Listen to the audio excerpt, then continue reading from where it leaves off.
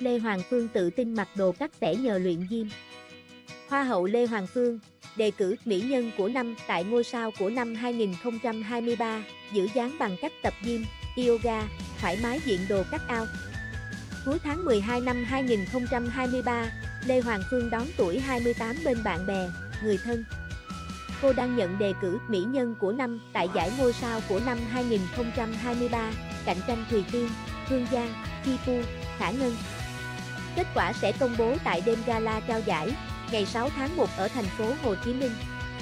Sau đăng quang Hoa hậu Hòa bình trong nước, Lê Hoàng Phương tham gia Miss Grand International 2023, đoạt vị trí Á hậu 4 hồi tháng 10. Gần 2 tháng qua, cô đồng hành ban tổ chức qua hoạt động tại nhiều quốc gia. Người đẹp thường chọn trang phục tôn hình thể 88, 63, 99 cm, sử dụng chất liệu vang, lưới, xuyên thấu. Lê Hoàng Phương cho biết để có hình thể cân đối, cô giữ thói quen tập gym. Cô thường thực hiện các bài tập với tạ, dây để siết cơ ở bụng, tay và chân.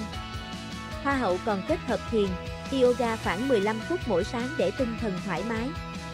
Hoàng Phương chú trọng chế độ ăn uống như hạn chế các món nhiều dầu mỡ, bổ sung protein và rau xanh. Lê Hoàng Phương diện trang phục của nhà thiết kế công chí dự sự kiện thời trang hôm 20 tháng 12 ở thành phố Hồ Chí Minh, người đẹp được khen vòng eo con kiến, bụng phẳng lì nhờ giữ thói quen tập thể dục đều đặn. Chế độ ăn uống hợp lý Phần lớn trang phục dạ hội người đẹp mặc tại các sự kiện đều có phong dáng cắt ao. Lê Hoàng Phương mặc đầm tôn hình thể gợi cảm khi dự sự kiện Miss Grand Phuket ở Thái Lan hồi tháng 11. Hoa hậu tạo dáng với thiết kế hở eo, cúp ngực của nhà mốt Hà Thẩm Tiến, dự sự kiện hồi tháng 11 ở Thái Lan. Hàng Phương được ekip xây dựng hình ảnh theo phong cách gợi cảm. Stylist Louis Huy Đặng cho biết thường chọn váy áo giúp người đẹp thể hiện được ưu điểm hình thể, phù hợp tính chất sự kiện. Hoa hậu phối áo quay ngực với quần ống rộng, nhấn ở phần eo của nhà thiết kế Long NG. Người đẹp ưu tiên chọn phong cách năng động gồm crop top, quần ống rộng, giày thể thao khi đi cà phê, dạo phố hoặc du lịch.